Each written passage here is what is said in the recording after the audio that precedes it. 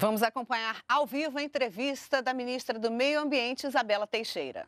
Terceira fase. Ele começou a ser concebido ainda em 98 é, durante o governo do presidente Lula, ele ganhou o prêmio do mais protegeu. O Brasil criou mais unidade de preservação que todo o planeta junto. E hoje nós estamos numa fase de implementação do projeto, do programa, numa visão dos próximos 25 anos, com alocação de doação de 250 milhões de dólares, tá?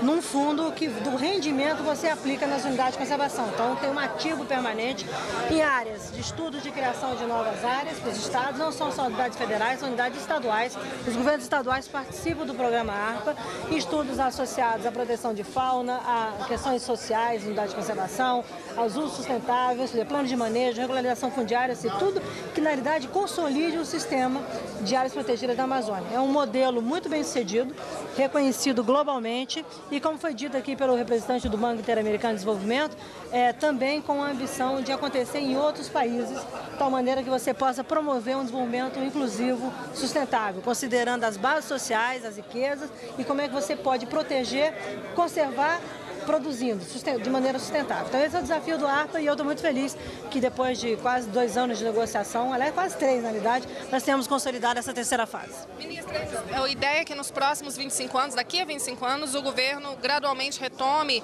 esse financiamento. Como é que funciona isso? Não é financiamento. Primeiro, é um programa estruturado em fase. Essa é a última fa a fase mais ambiciosa, que é uma fase de 25 anos em que a gente consolida tudo que existe do sistema ARPA. Tá?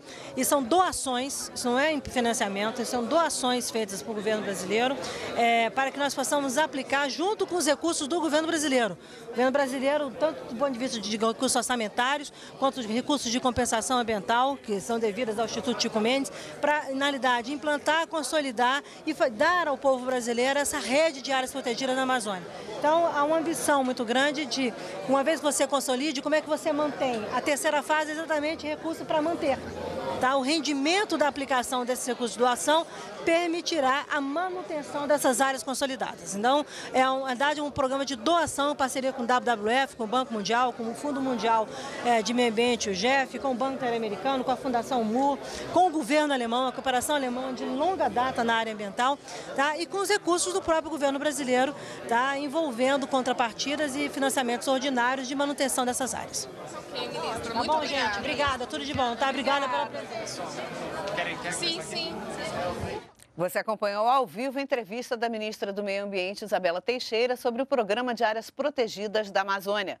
Podemos voltar a qualquer momento com outras informações. Continue com a gente, NBR e a TV do Governo Federal.